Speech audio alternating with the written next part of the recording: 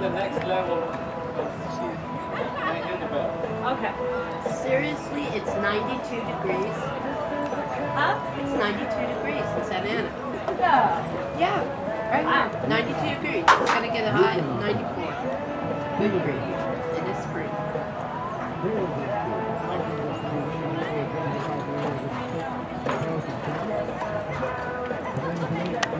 Thank you.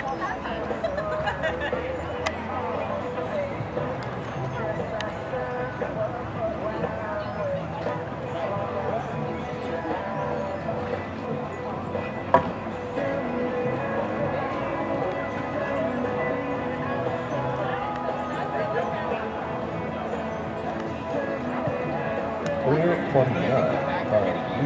we- Time 74.